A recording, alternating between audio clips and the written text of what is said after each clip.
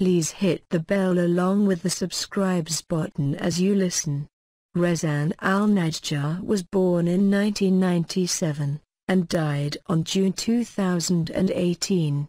She was a 21-year-old Palestinian nurse volunteering in the Gaza Health Ministry. On June 1, 2018, Razan was shot in the chest and killed by Israeli snipers while she was trying to save the injured protesters at the eastern borders of Gaza. Thousands of Palestinians attended her funeral in Gaza. Her body was wrapped in a Palestinian flag in the streets of Gaza. Her father carried her blood-stained medical jacket, while other mourners demanded revenge. As he died at 21 years old,